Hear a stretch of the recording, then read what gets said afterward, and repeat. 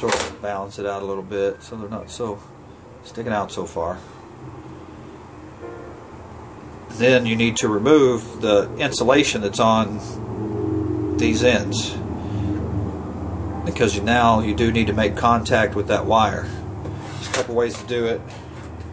Uh, seems like I find myself using a pocket knife all the time.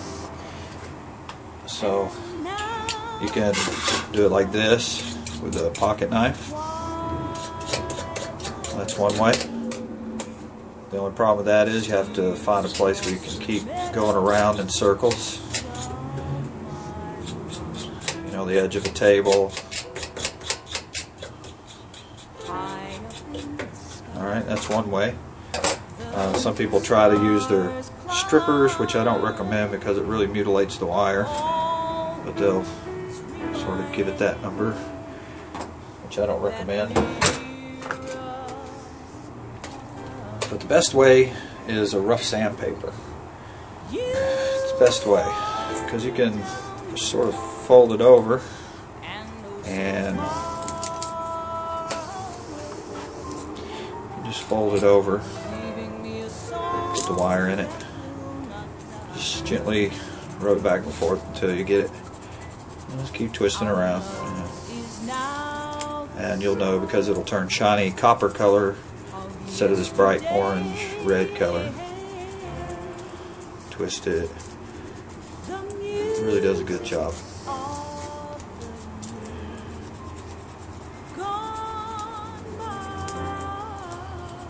It has to be very clean because it's going to spin on a piece of metal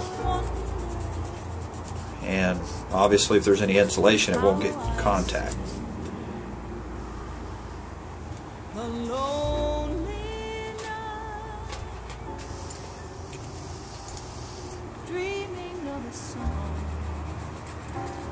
Alright, so there it is.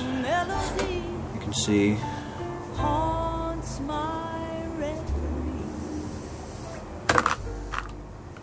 and I am once again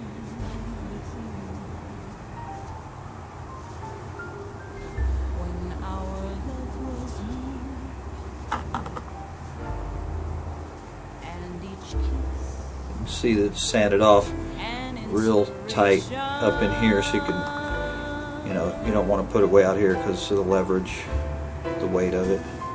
Same thing on this side okay so basically you sand that sand that leave the rest rest of it alone.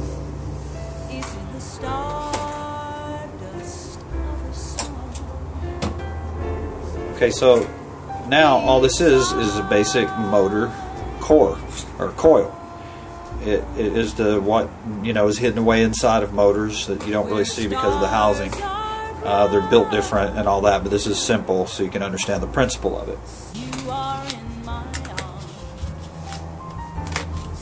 For this to fit across like this.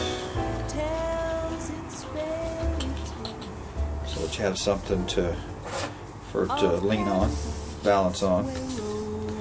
And of course it needs to be able to spin. So that's pretty good for a first time. It's very wobbly very loose very simple but it's working. So that's good enough.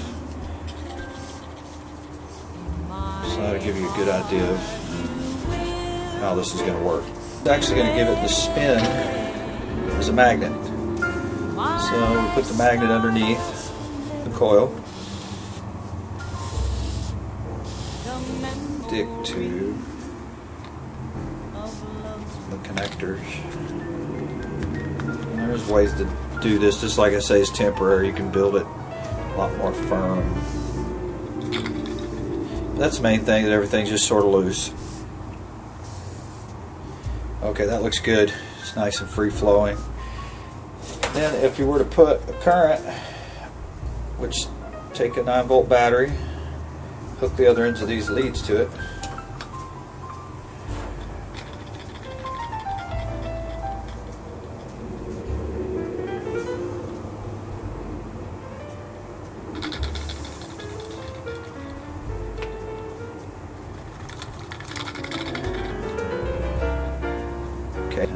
Goes. So basically, now you just have a current that's running a DC current that's running between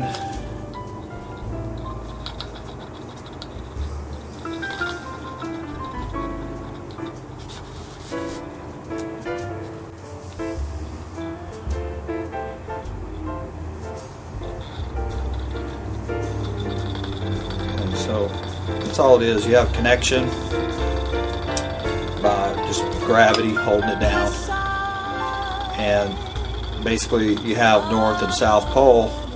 If you turn that magnet, or obviously if you pull the magnet out, the motor stop running. You can even go as far as putting it on top, the side. Notice you put it on top, of paradise when roses bloom like that. and white Just give it a little spin. Put it toward the toward the end. In my heart you will Keeps hitting my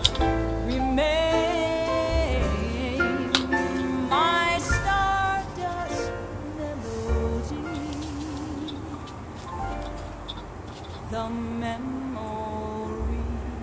of refrain.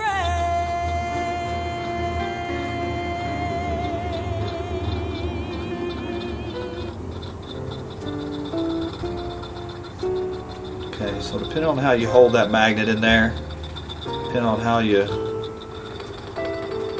which way it's pointing,